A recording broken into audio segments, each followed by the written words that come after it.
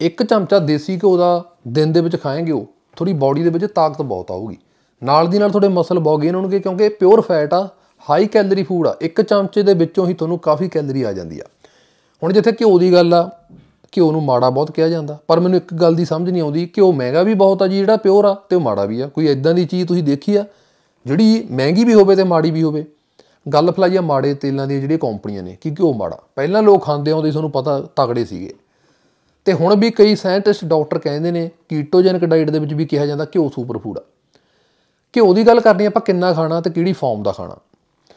ਘਿਓ ਦੇ ਵਿੱਚ ਪਹਿਲਾਂ ਤਾਂ ਤੁਹਾਨੂੰ ਬਹੁਤ ਤਗੜੇ ਇਦਾਂ ਦੇ ਫੈਟ ਸੋਲੂਬਲ ਵਿਟਾਮਿਨ ਮਿਲਣਗੇ, ਜਿਹੜੀ ਤੁਹਾਡੀ ਬਾਡੀ ਨੂੰ ਪ੍ਰੋਪਰ ਵਧੀਆ ਫੰਕਸ਼ਨ ਕਰਾਉਣ 'ਚ ਹੈਲਪ ਕਰਦੇ ਨੇ। Vitamin A vitamin D vitamin E vitamin K2 ਇਹ ਤੁਹਾਡੀਆਂ ਅੱਖਾਂ ਲਈ ਵਧੀਆ। ਵਿਟਾਮਿਨ ਈ e ਤਕੜਾ ਐਂਟੀਆਕਸੀਡੈਂਟ ਆ। ਵਿਟਾਮਿਨ K2 ਤੁਹਾਡੀ ਹੱਡੀਆਂ ਮਜ਼ਬੂਤ ਕਰਦਾ, ਕੈਲਸ਼ੀਅਮ ਨੂੰ ਹੱਡੀਆਂ ਦੇ ਵਿੱਚ ਅਬਜ਼ੌਰਬ ਕਰਨ 'ਚ ਹੈਲਪ ਕਰਦਾ। K ਤੁਹਾਨੂੰ ਮਿਲ ਜਾਂਦਾ K2 ਘਿਓ 'ਚੋਂ ਆਊਗਾ। ਵਿਟਾਮਿਨ ਏ ਜੇ ਤੁਹਾਨੂੰ ਬਹੁਤ ਜ਼ਿਆਦਾ ਵਧੀਆ ਫਾਰਮ 'ਚ ਚਾਹੀਦਾ, ਗਾਈਆਂ ਦਾ ਘਿਓ ਲਓ, ਕਿਉਂਕਿ ਉਹਦਾ ਰੰਗ ਪੀਲਾ ਹੁੰਦਾ ਜੈਲੋ ਤੇ ਜੇ ਉਹ ਗ੍ਰਾਸ ਫੀਡ ਆ, ਉਹ ਘਾਹ ਖਾਂਦੀਆਂ ਨੇ, ਫਿਰ ਹੋਰ ਜ਼ਿਆਦਾ ਉਹਨਾਂ ਦੇ ਵਿੱਚ ਬੀਟਾ ਕੈਰੋਟੀਨ ਹੁੰਦਾ ਪ੍ਰੀ ਵਿਟਾਮਿਨ ਏ ਸੋ ਤਾਂ ਹੀ ਮੈਂ ਕਹਿੰਦਾ ਨਾ ਕਿ ਜੇ ਘਿਓ ਖਾਣਾ ਤਾਂ ਗ੍ਰਾਸ ਫੀਡ ਲਓ, ਜਾਂ ਫਿਰ ਆਪਣੀ ਗਾਈਆਂ ਨੂੰ ਜ਼ਿਆਦਾ ਹਰਾ ਚਾਰਾ ਚਾਰੋ ਫੀਡ ਘਟਾਓ। ਤੇ ਨੈਕਸਟ ਘਿਓ ਦੇ ਵਿੱਚ ਹੁੰਦਾ ਬਿਊਟ੍ਰਿਕ ਐਸਿਡ ਹੁਣ ਬਿਊਟ੍ਰਿਕ ਐਸਿਡ ਤੁਹਾਡੇ ਢਿੱਡ ਲਈ ਬਹੁਤ ਵਧੀਆ। ਤੁਹਾਡਾ ਗੱਟ ਫਲੋਰਾ ਇਹਨੂੰ ਬਣਾਉਂਦਾ, ਜਿਹੜੀ ਤੁਸੀਂ ਵੈਜੀਟੇਬਲ ਖਾਂਦੇ ਹੋ, ਉਹਦੇ ਥਰੂ ਇਹਨੂੰ ਬਣਾ ਲੈਂਦਾ, ਬਿਊਟ੍ਰਿਕ ਐਸਿਡ ਨੂੰ ਜਾਣੀ। ਪਰ ਬਹੁਤ ਘੱਟ ਫਾਰਮ 'ਚ। ਕਿਉਂਕਿ ਮੈਂ ਤੁਹਾਨੂੰ ਕਹਿੰਦਾ ਰਹਿਣਾ ਕਿ ਆਪਣੀ ਜਿਹੜੀ ਬਾਡੀ ਆ ਵੈਜੀਟੇਬਲ ਚੋਂ ਤੱਤ ਉਹਨੇ ਅਬਜ਼ੌਰਬ ਨਹੀਂ ਕਰਦੀ, ਗਾਈਆਂ ਦੇ ਮੁਕਾਬਲੇ। ਕਿਉਂਕਿ ਉਹ ਆ ਚੀਜ਼ ਨੂੰ ਜ਼ਿਆਦਾ ਅਬਜ਼ੌਰਬ ਕਰ ਲਈ, ਉਹਨਾਂ ਦੇ ਮੇਦੇ ਬਣੇ ਹੁੰਦੇ ਨੇ। ਉਹਨਾਂ ਦੀ ਗਾਲੀ ਕਰਦੀਆਂ ਨੇ ਬਾਰ-ਬਾਰ, ਉਹਨਾਂ ਨੂੰ ਪੂਰੀ ਤਰ੍ਹਾਂ ਫਰਮੈਂਟ ਕਰਕੇ ਉਹਨਾਂ ਚੋਂ ਤੱਤ ਕੱਢ ਲੈਂਦੀਆਂ ਨੇ। ਸੋ ਉਹਨਾਂ ਦਾ ਖਾਦਾ ਘਾ ਉਹਨਾਂ ਦੇ ਘਿਓ ਚੋਂ ਤੁਹਾਨੂੰ ਬਣਿਆ ਬਣਾਇਆ ਬਹੁਤ ਬਾਇਓਬਿਲਟੀ ਦੇ ਵਿੱਚ ਬਿਊਟ੍ਰਿਕ ਐਸਿਡ ਸਿੱਧਾ ਮਿਲ ਜਾਂਦਾ। ਕਿੱਥੇ ਤੁਸੀਂ ਖਾ ਕੇ ਘੱਟ ਅਬਜ਼ੋਰਬ ਕਰਨਾ ਉਹਨੂੰ। ਇਹ ਤੁਹਾਡੀ ਮੇਨ ਸੋਰਸ ਆਫ એનર્ਜੀ ਆ, ਤੁਹਾਡੇ ਗੱਟ ਦੇ ਸੈੱਲ ਦਾ। ਮਤਲਬ ਤੁਹਾਡੀ ਢਿੱਡ ਦੀ ਇਨਫੋਰਮੇਸ਼ਨ ਗੱਟ ਤੁਹਾਡਾ ਬਹੁਤ ਵਧੀਆ ਹੀਲ ਹੋਊਗਾ ਦੇਸੀ ਘਿਓ ਨਾਲ। ਤੇ ਨੈਕਸਟ ਇਹਦੇ ਵਿੱਚ ਹੁੰਦੀ ਆ CLA fat CLA fat cancer ਲਈ ਬਹੁਤ ਵਧੀਆ। CLA ਫੈਟ ਮਸਲ ਗੇਨ ਲਈ ਬਹੁਤ ਵਧੀਆ। CLA ਫੈਟ ਫੈਟ ਬਰਨ ਕਰਨ ਲਈ ਬਹੁਤ ਵਧੀਆ। ਜੋ ਕਿ ਡਾਇਰੀ ਚੋਂ ਤੁਹਾਨੂੰ ਬਹੁਤ ਵਧੀਆ ਵੈਲਿਊ ਚ ਆਉਂਦੀ ਆ। ਪਰ ਹੁਣ ਗੱਲ ਉਹੀ ਆ ਗਈ, ਜੇ ਤੁਹਾਡਾ ਘਿਓ ਗ੍ਰਾਸ ਫੀਡ ਆ, ਤਾਂ 500% ਵੱਧ ਸੀਐਲਏ ਫੈਟ ਤੁਹਾਨੂੰ ਆਊਗੀ, ਜੇ ਘਿਓ ਗ੍ਰਾਸ ਫੀਡ ਨਹੀਂ ਹੈਗਾ। ਇਦਾਂ ਹੀ ਓਮੇਗਾ 3 ਫੈਟੀ ਐਸਿਡ ਤੁਹਾਡੇ ਬ੍ਰੇਨ ਲਈ ਵਧੀਆ ਹਾਰਟ ਲਈ ਵਧੀਆ ਮਸਲ ਗੇਨ ਲਈ ਵਧੀਆ। 2 3 ਟਾਈਮ ਜ਼ਿਆਦਾ omega 3 fatty acid grass feed fat ਚੋਂ ਆਊਗਾ ਤੁਹਾਨੂੰ, ਜੇ ਤੁਹਾਡਾ ਘਿਓ ਸਿੰਪਲ ਆ, ਉਹਦੇ ਮੁਕਾਬਲੇ। ਇਹ ਦੋਏ ਚੀਜ਼ਾਂ ਬਹੁਤ ਤਕੜੀ ਇੱਕ ਫੈਟ ਆਉਂਦੀ ਹੈ ਇਹ ਤੁਹਾਨੂੰ। ਕਿਉਂਕਿ ਜੇ ਤੁਹਾਡੀ ਗਾਈਆਂ ਨੂੰ ਫੀਡ ਪੈਂਦੀ ਆ, ਜ਼ਿਆਦਾ ਫੀਡੇ ਪੈਂਦੀ ਆ, ਫਿਰ ਉਹਨਾਂ ਦੇ ਜਿਹੜੀ ਘਿਓ ਆਉਂਦੀ ਆ, ਉਹ ਚੋਂ ਨੇ ਤੱਤ ਨਹੀਂ ਆਉਣੇ, ਉਹ ਫੈਟ ਓਮੇਗਾ 6 ਰਿਚ ਹੋਊਗੀ, ਕਿਉਂਕਿ ਗ੍ਰੇਨ ਪੈਂਦਾ ਉਹਨਾਂ ਨੂੰ। ਤੇ ਜੇ ਉਹ ਫੈਟ ਮੰਨ ਲਓ, ਉਹ ਘਾਹ ਹਰਾ ਚਾਰਾ ਚਰ ਕੇ ਆ ਰਹੀ ਆ, ਫਿਰ ਉਹ ਚੋਂ ਬਹੁਤ ਤੱਤ ਆਉਣਗੇ। ਜਿਵੇਂ ਮੈਂ ਵਿਟਾਮਿਨਾਂ ਦੀ ਵੀ ਗੱਲ ਕਰੀ ਸੀ ਸੀਐਲ ਤੇ ਓਮੇਗਾ 3 ਦੀ ਵੀ ਗੱਲ ਕਰੀ ਸੀ ਤੇ ਗੁੱਡ ਫੈਟ ਦੀ ਵੀ। ਤੇ ਜਿਹੜੀ ਥੋੜੀ ਬਹੁਤੀ ਤੁਹਾਨੂੰ ਲੱਗਦਾ ਕਿ ਸੈਚੂਰੇਟ ਫੈਟ ਮਾੜੀ ਆ ਉਨੀ ਫੈਟ ਤੁਹਾਡੀ ਬਾਡੀ ਲਈ ਜ਼ਰੂਰੀ ਆ। ਕਿਉਂਕਿ ਹੈਲਦੀ ਕੋਲੇਸਟ੍ਰੋਲ ਨਾਲ ਥੋੜੇ ਹਾਰਮੋਨ ਬੈਸ ਹੁੰਦੇ ਨੇ। ਸੋ ਜੇ ਹੁਣ ਘਿਓ ਨੂੰ ਤੁਸੀਂ ਮਾੜੀ ਡਾਈਟ ਨਾਲ ਕੰਬਾਈਨ ਕਰਨਾ, ਬਾਹਰੋਂ ਵੀ ਖਾਂਦੇ ਹੋ ਸ਼ੂਗਰ ਵੀ ਹਾਈ ਰੱਖਦੇ ਹੋ, ਫਿਰ ਪ੍ਰੋਬਲਮ ਆ।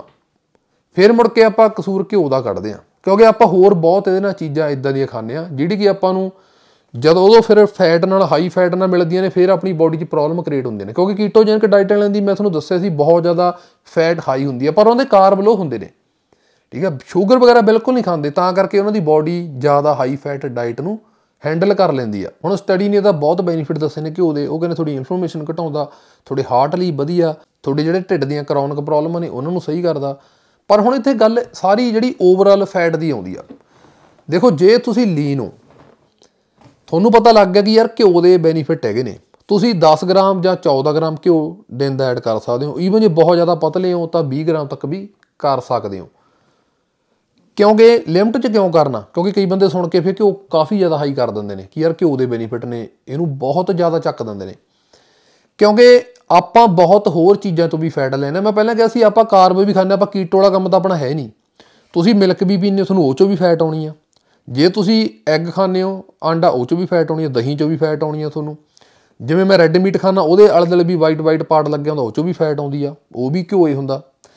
ਸੋ ਆਪਾਂ ਹੋਰ ਜਿਵੇਂ ਮੈਂ ਕਿਹਾ ਬਹੁਤ ਚੀਜ਼ਾਂ ਖਾਂਦੇ ਆ ਬਦਾਮ ਖਾਂਦੇ ਆ ਸੋ ਫਿਰ ਤੁਸੀਂ ਸਾਰੀ ਓਵਰਆਲ ਫੈਟ ਦੇਖਣੀ ਆ। ਕਿਉਂਕਿ ਜਦੋਂ ਤੁਸੀਂ ਕਿਸੇ ਫੂਡ ਤੋਂ ਨਿਊਟ੍ਰੀਸ਼ਨ ਲੈਣੀ ਆ, ਤਾਂ ਮਿਕਸ ਕਰਕੇ ਲਓ। ਮੰਨ ਲਓ ਫੈਟ ਆ। ਤੁਹਾਨੂੰ ਪਤਾ ਲੱਗਾ ਕਿ ਉਹਦੇ ਬੈਨੀਫਿਟ ਨੇ ਹੋਰ ਚੀਜ਼ਾਂ ਚੋਂ ਫੈਟ ਘਟਾ ਲਓ। ਉਹੀ ਆਪਣਾ ਘਿਓ ਐਡ ਕਰ ਲਓ।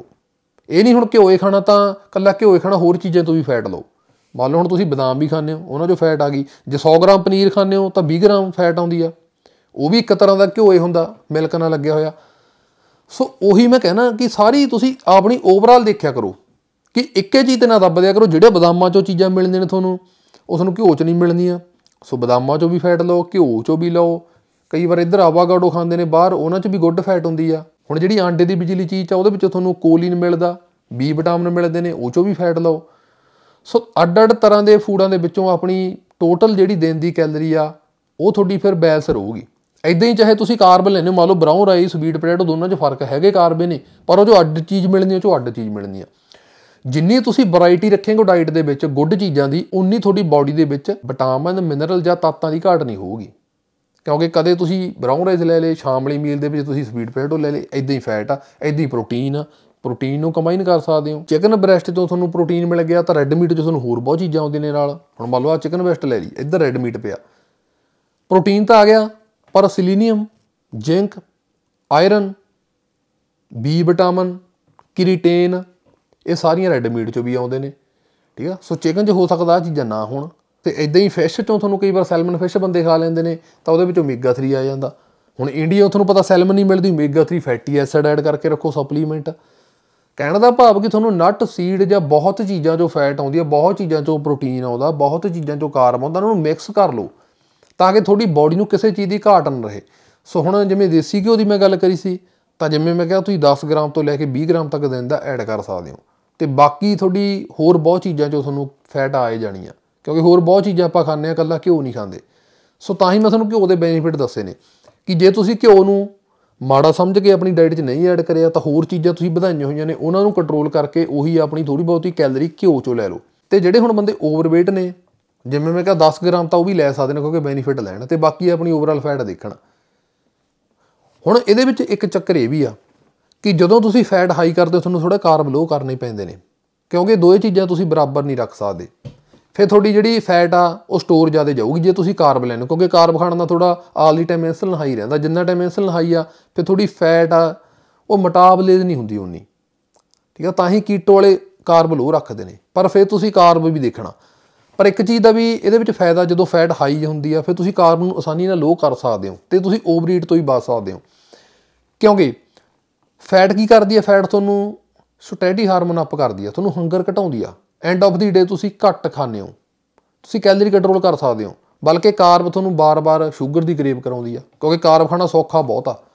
ਫੈਟ ਦੀ ਤੁਹਾਨੂੰ ਕਰੇਵ ਨਹੀਂ ਹੁੰਦਾ, ਤਾਂ ਹੀ ਕਰਕੇ ਕਈ ਬੰਦੇ ਜਿਹੜੇ ਜਮੇ ਅੱਕ ਗਏ ਦੂਜੀਆਂ ਡਾਈਟਾਂ ਤੋਂ ਜਾ ਕੇ ਕੀਟੋ ਦੇ ਬੈਨੀਫਿਟ ਲੈਂਦੇ ਨੇ, ਉਹ ਤਾਂ ਹੀ ਲੈਂਦੇ ਨੇ, ਕਿਉਂਕਿ ਕੀਟੋ ਨਾਲ ਉਹਨਾਂ ਦੀ ਕਰੇਵਿੰਗ ਮਰ ਜਾਂਦੀ ਆ।